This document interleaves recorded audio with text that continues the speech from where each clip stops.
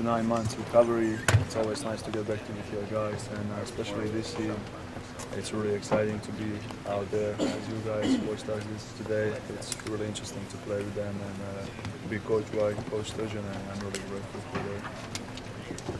You're the lone senior on this team. How have you taken to that role, and how have you changed how you?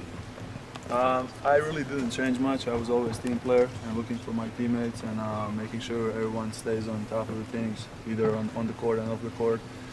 I had some great mentors over the years, uh, all like both juniors and seniors who I've been with last three years, and I great I, I learned a great deal, especially like finally being able to speak uh, English uh, fluently and everyone can understand me, so I can express my thoughts and feelings.